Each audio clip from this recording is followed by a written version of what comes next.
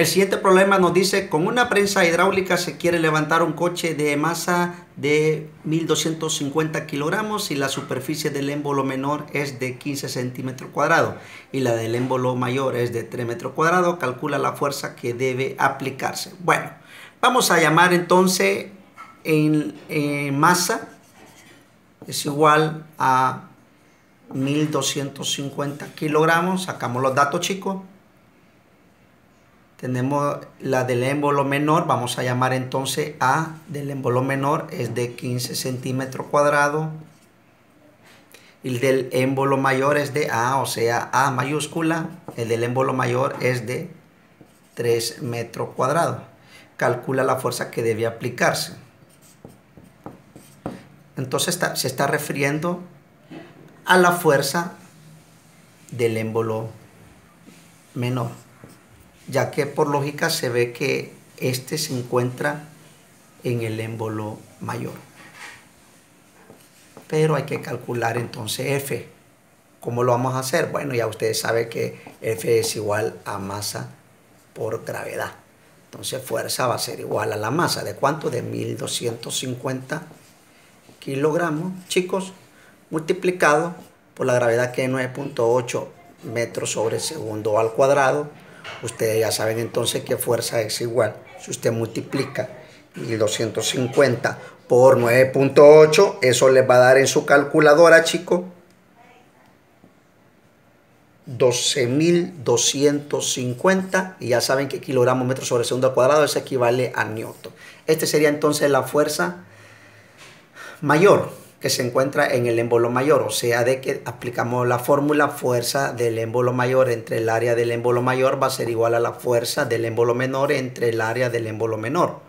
O sea, de que nos da la fuerza de 12.250 newton entre el área del émbolo mayor, que en este caso sería 3 metros cuadrados, chicos, igual y la fuerza del émbolo menor, que es lo que vamos a calcular entre el área, pero el área en este caso del émbolo menor de 15 centímetros cuadrados.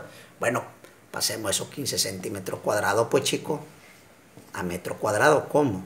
Si usted sabe que un metro equivale a 100 centímetros, ¿cuánto quedaría un metro al cuadrado? Solo es cuestión que 100 usted le eleve al cuadrado, chicos, y eso le va a dar ¿cuánto? 10.000 para poder eliminar el centímetro cuadrado, entonces aquí pongo el 1 metro cuadrado y abajo pongo 10.000, su equivalencia en centímetros cuadrados. Simplificamos y me queda entonces esta respuesta. A 15 lo multiplicamos por 1 le va a dar 15 y luego 15 divídalo entre 10.000 chicos, eso le va a dar en su calculadora prácticamente 1.5 por 10 a la menos 3. Aquí les está dando una notación científica. Convirtámoslo a una notación normal. ¿Cómo? Vamos a correr 3 0 a la izquierda, o sea, 0.1, 2, 3 y ubico 15. Recuerden lo que vimos en clase de primer año. Entonces, eso va a ser entonces igual a la expresión del área del émbolo menor ya centímetro cuadrado convertido a qué? A metro cuadrado. O sea, de que lo voy a sustituir aquí 0.0015. Esto sería metro cuadrado. Ahora, este está dividiendo, pasa a multiplicar, entonces me va a quedar 12.250 newton.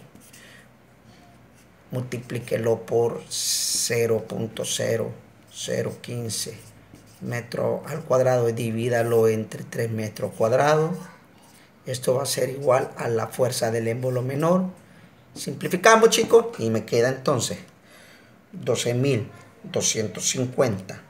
Lo multiplico por 0.0015 en su calculadora le da igual. Luego lo divide entre 3, chicos. Eso le va a dar en su calculadora 6.125 newton. Este sería la fuerza del émbolo menor que ustedes lo, puede, lo podrían aproximar a 6.13. Este 5 aproxima al 2 y quedaría ya aproximado así Newton. Bueno, si te gustó el video, dale like, compártelo, ¿verdad? Y si todavía no estás suscrito a mi canal de YouTube, te invito a, a que te suscribas. Dios te bendiga y espero que te sirva este video para que puedas desarrollar los ejercicios.